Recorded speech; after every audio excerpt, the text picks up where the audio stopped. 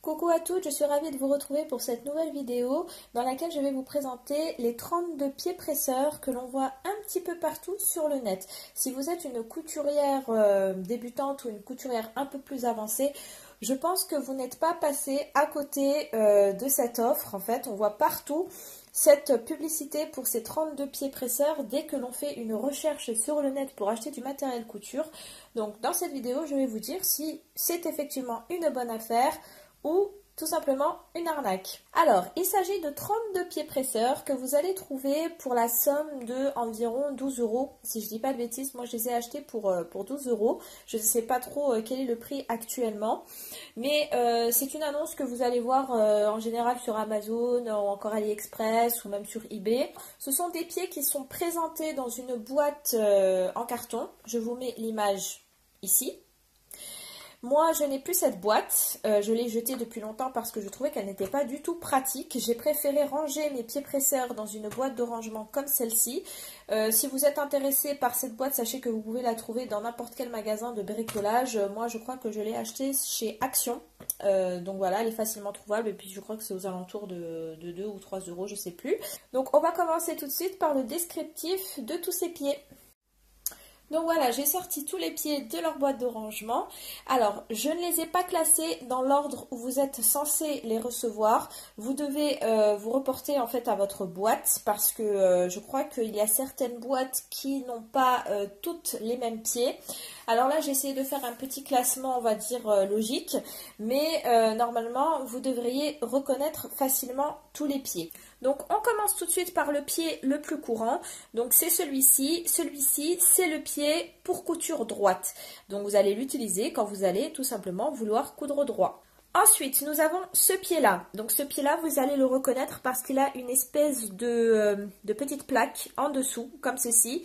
C'est le pied pour surger. Donc si vous n'avez pas de surjetteuse, ce pied peut être euh, très pratique. Je ne l'ai jamais utilisé parce que j'ai une surjetteuse, tout simplement. Mais Essayez-le. Si par exemple vous n'avez pas de surjetteuse, effectivement, ça peut dépanner.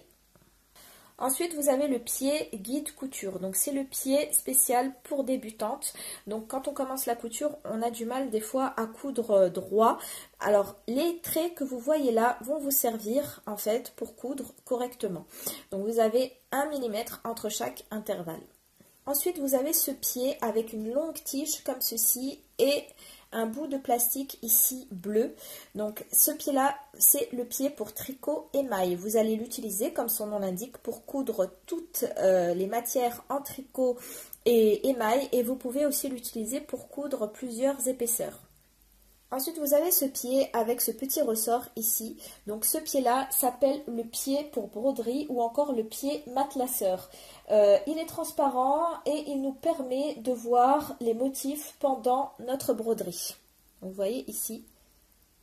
Ici, c'est transparent. Donc du coup, quand vous allez coudre de la broderie, ça va être très pratique pour vous repérer. Encore un pied assez spécial. Donc c'est encore un pied avec une longue tige et un rond comme ceci. Donc ce pied-là, c'est le pied à repriser. Comme son nom l'indique, il est utilisé pour repriser ou raccommoder. Vous pouvez aussi l'utiliser pour faire de la broderie en piqué libre. Donc ensuite, nous avons ce pied-là, on reste dans la broderie, c'est un pied pour broderie spéciale. Alors vous pouvez l'utiliser pour les broderies prises par exemple dans les coutures, entre deux tissus, et vous pouvez l'utiliser pour faire des franges. Ce pied, c'est le pied fronceur, donc c'est un pied qui sert à faire des fronces. On va l'utiliser généralement avec une tension très élevée pour que les fronces puissent se faire correctement. Nous avons également ce pied qui est le pied pose-biais. Donc c'est un pied qui est vraiment très très très très pratique, euh, notamment si vous cousez euh, assez régulièrement du biais. Avec lui, en fait, vous n'avez plus besoin euh, de vous y prendre plusieurs fois pour, à plusieurs fois pardon, pour coudre votre biais. En un seul passage, le biais est posé parfaitement. Donc c'est un pied qui nous permet non seulement de poser le biais et d'également le coudre. Donc c'est un, un pied deux en un. Ensuite, nous avons trois pieds qui vont nous servir pour les cordons. Avec ça, on va coudre facilement des cordons ou éventuellement des cordelettes. Donc par exemple, ici, vous voyez, vous avez deux tailles différentes et un autre pied spécifique, spécialement conçu pour la couture de cordon. Ensuite, ce pied-ci, avec les petites vagues sur, sur l'envers, c'est le pied spécial pour poser du passepoil. On reste dans la déco avec ce pied-là qui, celui-ci, va nous servir à poser du ruban. Donc vous pouvez le reconnaître avec son triangle au milieu. Ensuite, on se retrouve avec quatre pieds spéciaux pour ourlets. Donc, ce sont quatre pieds qui vont vous permettre de faire des ourlets de taille différentes. Euh, c'est tout simple. En fait, vous allez prendre votre tissu, le glisser au milieu ici de la fente et du coup, l'ourlet va se former automatiquement. Ensuite, nous avons le pied pour ourlet invisible. Donc, comme son nom l'indique, vous allez l'utiliser pour faire un ourlet invisible. Euh, personnellement, je ne suis pas très fan de ce type de pied. Je préfère largement des pieds comme ceci. Donc celui-ci est fourni avec ma machine à coudre qui est euh, pour moi beaucoup plus précis et beaucoup plus simple à utiliser que le pied comme ceci. Ensuite, nous avons le pied pour piqûre dans la couture. Alors, c'est un pied euh, assez spécial qui va nous permettre de réaliser les bordures d'une couverture ou les coutures cachées de vêtements. Donc là, vous voyez, vous avez un guide en dessous. Et ce guide-là, en fait, va nous permettre de, réaliser une couture régulière et euh, de coudre deux tissus l'un à côté de l'autre parfaitement. Ensuite, nous avons deux pieds spéciaux pour fermeture éclair. Alors, vous avez celui-ci qui va vous permettre de coudre une fermeture éclair invisible et celui-ci avec son petit bouton orange est spécialement conçu pour la fermeture éclair classique. Donc ensuite, vous avez deux pieds avec des espèces de petites dents comme ceci sur les bords. Donc ce sont des pieds pour nervures. Ils sont fournis en deux tailles différentes. Les petites dents que vous avez vues ici vont nous permettre de, coudre pardon, des nervures très facilement. Donc ensuite, vous avez encore deux pieds qui sont utilisés pour une couture similaire. Ici, ça va être pour le quilting. Donc euh, vous en avez un avec guide et un autre sans guide. Donc ces deux pieds-là vous permettent de fixer un rembourrage léger entre deux épaisseurs de tissu. Alors pareil, nous avons deux pieds qui vont nous servir pour un seul et même travail de couture. Ici, ça va être les appliquer. Donc vous en avez un basique et vous en avez un transparent. Celui-ci va vous permettre en fait de, de voir beaucoup mieux lors de votre couture d'appliquer. Ce petit pied transparent, lui, va nous servir pour la couture des perles. Vous avez ici une fente, là, en fait, qui va vous permettre de faire glisser vos perles durant votre couture. Ce pied-là est spécialement conçu pour la couture du cuir. Comme vous pouvez le voir ici, vous avez des roulettes, en fait, une roulette, en fer, qui va glisser sur le cuir. Donc ça va nous permettre de coudre le cuir facilement sans abîmer ni votre machine, ni votre tissu. On reste dans le cuir et dans le simili-cuir. Donc ça, c'est un pied spécialement en téflon, donc c'est un pied en plastique qui va nous permettre de coudre du simili-cuir.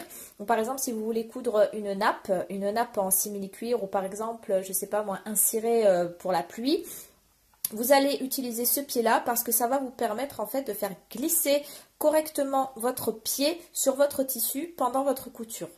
Enfin, pour terminer, ce pied-là va vous servir pour la couture de plumetti. Alors concrètement, qu'est-ce que je pense de ces 32 pieds presseurs? Est-ce que ça vaut le coup de les acheter ou pas? Donc, euh, pour être sincère, je n'ai pas utilisé tous les pieds que je vous ai présentés dans cette vidéo. Comme vous avez pu le voir, il y en a énormément. Et à moins euh, de, faire de la couture de façon intensive et de vraiment diversifier ses travaux couture, je ne sais pas si on peut utiliser ces 32 pieds euh, aussi rapidement en fait parce que ça fait pas très longtemps que je les ai. De mon point de vue, d'apparence, ils me paraissent être des pieds parfaitement normaux. je n'ai pas constaté de différence entre, par exemple, je sais pas moi, le pied pour ourlet invisible que j'ai eu dans ce kit et un autre pied pour ourlet invisible que j'ai acheté séparément. D'ailleurs, je vais vous le montrer maintenant. Donc voilà, ici à droite, vous avez le pied que l'on va trouver dans le kit que des 32 pieds presseurs euh, qui coûtent pas très cher. Et vous avez ici un pied que j'ai acheté séparément, donc un pied on va dire euh, normal. Hein. Et comme vous pouvez le constater, il n'y a pratiquement aucune différence entre les deux. Donc maintenant, euh, ce que je vous conseillerais, c'est d'acheter ce kit. Vous n'avez pas grand chose à perdre. Euh, vous allez peut-être perdre 10, 12 euros si, si jamais euh, ça ne vous convient pas, mais ça m'étonnerait fort quand même que ces pieds ne vous conviennent pas. Achetez-les et faites des tests sur des bouts de tissu que vous n'avez pas besoin. N'allez pas coudre directement avec euh, sur, euh, sur votre tissu parce qu'on ne sait jamais.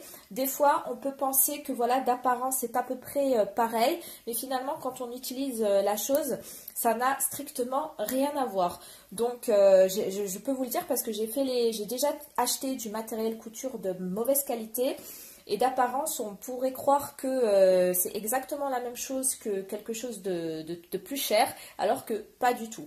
Donc faites toujours un test au préalable si euh, vous voulez acheter ce, coffret. Demandez aussi au vendeur si votre machine à coudre est bien compatible avec euh, ce kit parce que je crois en fait qu'il y a des kits qui ne sont pas comme les autres. Moi j'avais vu des vidéos où on montrait euh, certains pieds et moi par exemple je ne les ai pas dans, ce, dans le coffret que j'ai acheté. Donc faites attention, demandez toujours si euh, votre machine à coudre est bien compatible avec le pied en question. Un autre point aussi important, c'est qu'on vous dit que vous allez avoir 32 pieds alors que ce n'est pas forcément vrai. Fait, il y a beaucoup de pieds qui sont identiques, mais c'est simplement la taille qui va changer. Notamment par exemple comme vous l'avez vu avec les pieds ourleurs. On vous donne 4 pieds pour faire des ourlets alors que euh, au final euh, ce n'est pas euh, vraiment quatre ce n'est pas quatre travaux différents de couture. Donc en fait, vous allez avoir 32 pieds, mais sachez que dans ce kit, vous avez beaucoup de doublons parce qu'il est nécessaire d'avoir plusieurs tailles différentes. Donc vous n'allez pas forcément faire 32 travaux de couture. Enfin, pour terminer, sachez que je vous ai fait un document que vous pouvez imprimer et garder à proximité de votre machine à coudre pour vous aider si jamais vous avez déjà euh, ce kit euh, de 32 pieds presseurs ou si vous comptez l'acheter. C'est un document dans lequel j'ai mis une photo et une description de chacun des pieds que je vous ai présentés. Pour le télécharger, rendez-vous sur notre blog blog.modesticouture.com ou vous pouvez encore le télécharger via le lien que je vais vous mettre en bas de cette vidéo, donc euh, dans la barre d'infos. Aussi, si vous avez aimé cette vidéo, n'hésitez pas tout simplement à l'aimer et à la partager.